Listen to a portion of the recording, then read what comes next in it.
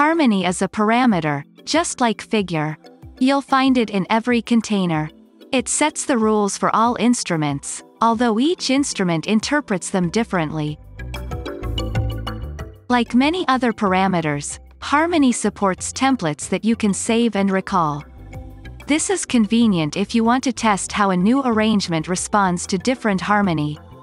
The harmony parameter holds a progression of harmonic contexts. Context consists of a chord, a bass note, two scales and the key. Beginners can focus on the chord only and let Synfire figure out the rest. You can drop progressions from a library.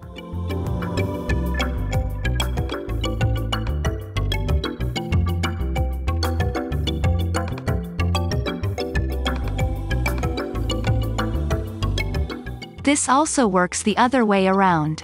Drag any harmony outlet to a library to put a progression aside for later. You can even do that with partial selections.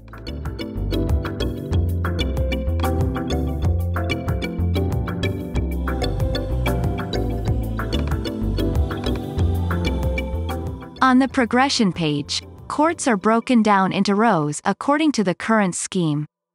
You can alter this scheme to match your song's verse metrics. This is the chord selection tool. Navigate the progression with the arrow keys.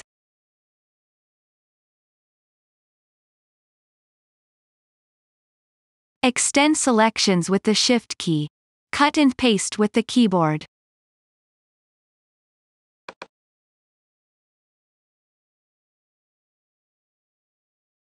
Move a selection with the mouse. Hold the Alt key to make a copy. Hold the Command key to insert a selection in between.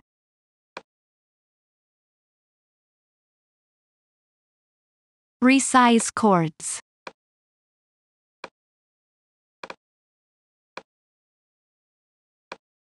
Over time, all this editing will become second nature. This is a placeholder for the Harmony outlet of the current container. On the parameter inspector, you can input one or more chords separated by spaces. If you are unsure how a chord is written, pick an extension from this menu. Enable instant audio feedback.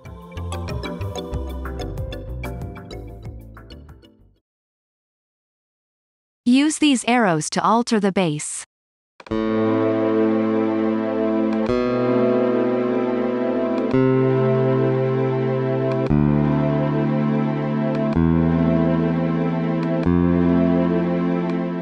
Hold Shift and Alt for chromatic intervals.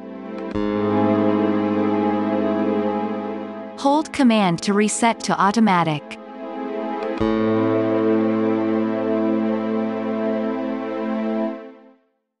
There are many settings you can make for each harmonic context.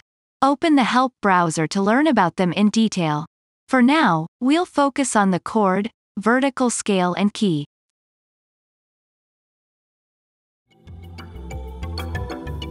On the View menu, you can select which details you want to see in the progression view.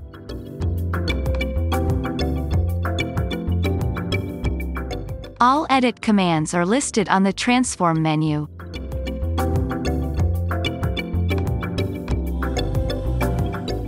The clipboard offers convenient shortcuts for some. If you want to change the key of an entire progression, simply transpose it.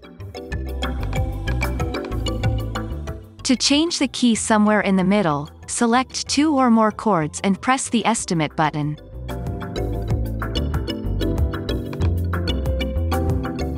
The key is applied to the selected chords.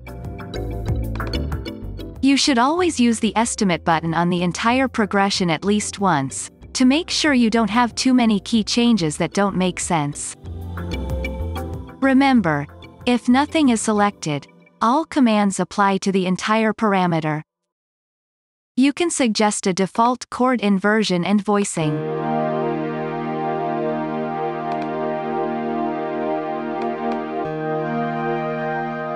Individual figure segments may override this if the interpretation parameter allows.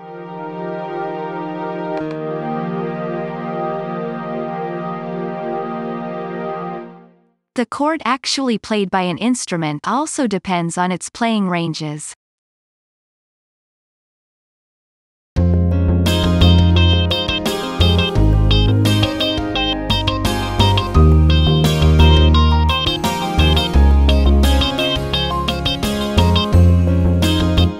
The cool thing with harmony is, every change you make immediately recomposes your arrangement. You can check the outcome in an instant.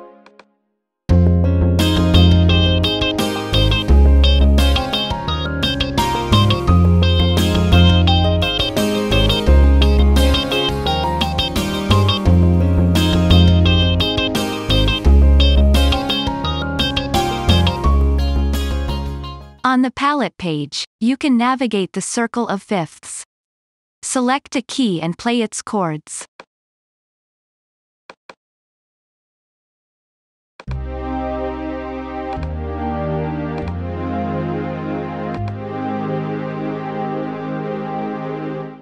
Drag chords to the harmony lane to alter the progression of the current container.